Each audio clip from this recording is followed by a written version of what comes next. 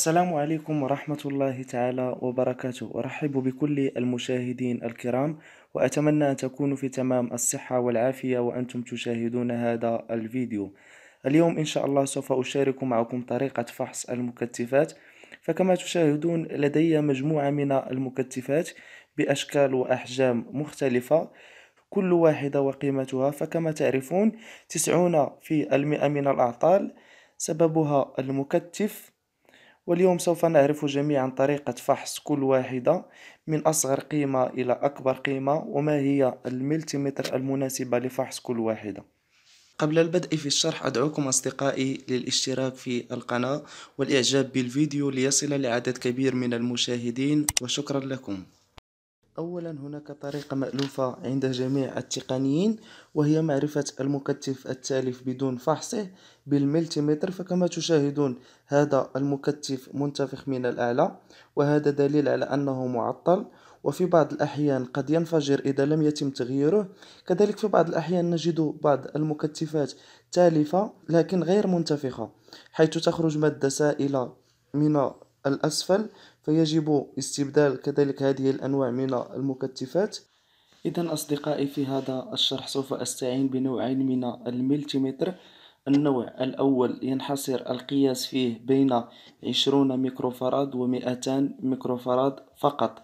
بينما هذا النوع الثاني يقوم بالقياس من أصغر نسبة إلى حوالي عشرة آلاف ميكروفاراد يعني حسب تجربتي وحسب المكتفات التي قمت بقياسها. فبعض المكتفات تكون فيها نسبة الميكروفاراد عشرة آلاف ميكروفاراد وقمت بقياسها بهذه الملتيمتر.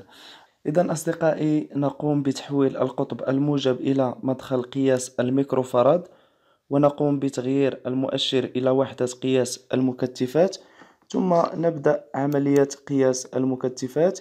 بتوصيل أطراف الملتيمتر في أرجل المكتف كما تشاهدون أربعة وثلاثون ميكروفاراد. هذا المكتف سليم. ثم نقوم بقياس مكتف آخر. سبعة وأربعون ميكروفاراد. إذا كما تشاهدون في النتيجة صفر. إذا هذا المكتف تالف غير صالح.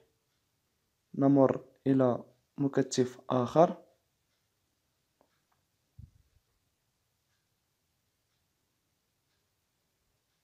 إذا نسبة هذا المكتف هي مئة ميكروفاراد. كما تشاهدون ستة وتسعون. إذا إلى حد ما هذا المكتف صالح. ثم نقوم بقياس هذا سبعة وأربعون ميكروفاراد. إذا نقوم بتوصيل أطراف الملتيمتر في أرجل المكتف. كما تشاهدون القيمة صفر دليل على أنه غير شغال ميت. ثم هذا المكتف مئة ميكروفاراد. نقوم بقياسه. تظهر لنا قيمة ستة ميكروفاراد إذا كذلك هو بدوره غير شغال. نمر إلى مكتف آخر. كما تشاهدون أصدقائي أختار المكتفات يعني أقل من مئتان وعشرون ميكروفاراد كذلك هذا غير شغال. نمر إلى مكثف آخر بقيمة سبعة وأربعون ميكرو فراد نقوم بقياسه. إذا هذا المكثف جيد. فيه سبعة وأربعون ثم في النتيجة خمسون ميكرو فراد دليل على أنه جيد. ثلاثة وأربعون كذلك هذا جيد. ثم نقص مكتف آخر. إذا اثنان وثمانون ميكروفاراد نقوم بقياسه. أربعة اثنان. يعني كذلك هذا ميت.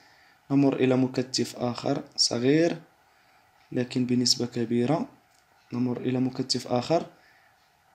إذا أصدقائي بعد الانتهاء من عملية قياس المكتفات المنحصرة قيمتها بين عشرون ميكروفاراد ومئتان ميكروفاراد الآن سوف نقوم بقياس المكتفات الأكثر من مئتان ميكروفاراد باستعمال هذا الملتيمتر الصغير نقوم بتحويل المؤشر إلى وحدة قياس المكتف والمقاومة ثم نضغط على الزر الأصفر لتحويله إلى الميكروفاراد كما تشاهدون NF ثم نقوم بالقياس سوف أبدأ بهذا المكتف الكبير 6800 ميكروفاراد أقوم بتوصيل أطراف الملتيمتر في أرجل المكتف ثم ننتظر قياس النسبة. كما تشاهدون 6738 دليل على أنه جيد. نقوم بقياس مكتف آخر.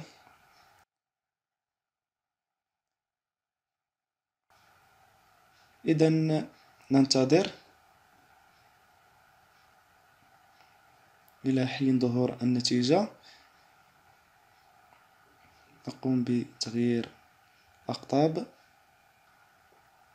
إذا كما تشاهدون ستة آلاف وربعمية وثمانية وخمسين.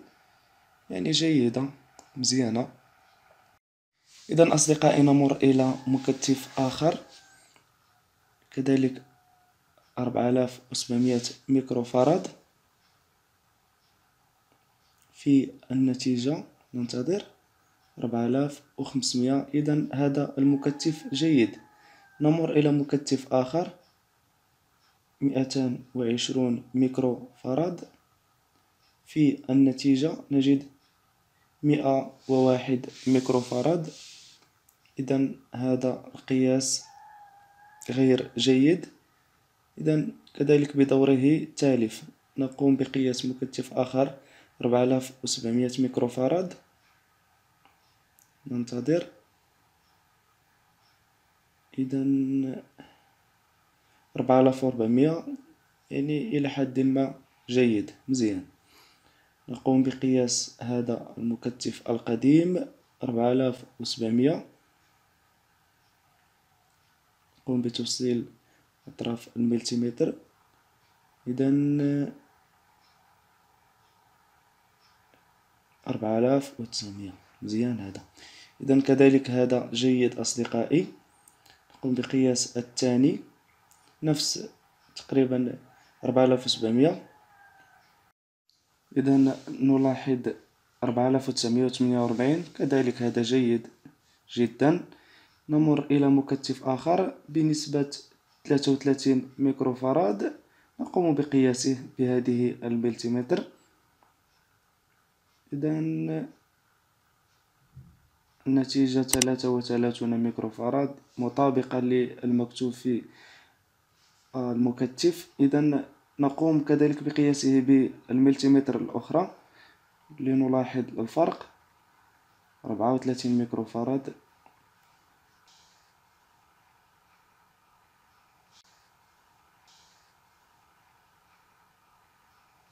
إذا نمر إلى هذا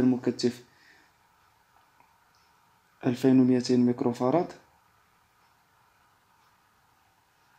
في النتيجة مئتان وسبعة وعشرون ميكروفاراد مئتان وخمسون ميكروفاراد. إذا هذا تالف بدوره تالف ميت. نمر إلى هذا المكتف بنسبة ألف ميكروفاراد. نقوم بتوصيل أطراف الملتيمتر وننتظر. إذا النتيجة هي خمسمية ميكروفاراد. إذا كذلك هذا بدوره تالف. سوف أقوم برميه. أمر إلى مكتف آخر. ألف ميكروفاراد.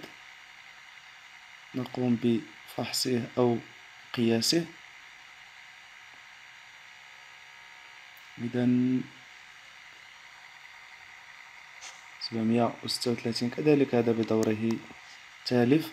سوف أقوم برميه. هذه هي طريقة فحص أو قياس المكتفات. أصدقائي نمر إلى مكتف آخر بنسبة ألف ميكروفاراد 131 كذلك هذا ميت.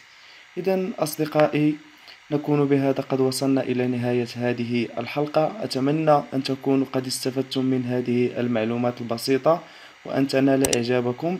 انتظرونا في الفيديو المقبل مع شرح جديد وشكرا لكم.